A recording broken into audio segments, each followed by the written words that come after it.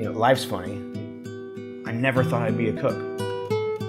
In a million years, I never thought I'd be a cook. 9 11 happens. Out of frustration, confusion, anger, I went down to the recruiter's office. I qualified to be a Navy cook and signed up that day.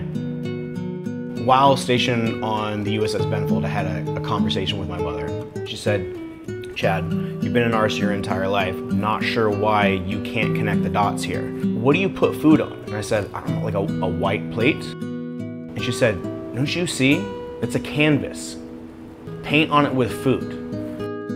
I was able to use that later on in my career, even in the Navy, and then furthermore getting out of the Navy into a professional chef position.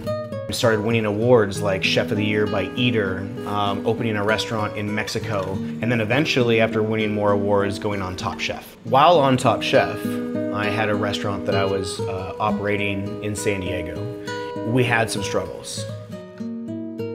I decided to move to my hometown, Spokane, Washington, and reset. And then open this restaurant called Zona Blanca, which is a ceviche bar.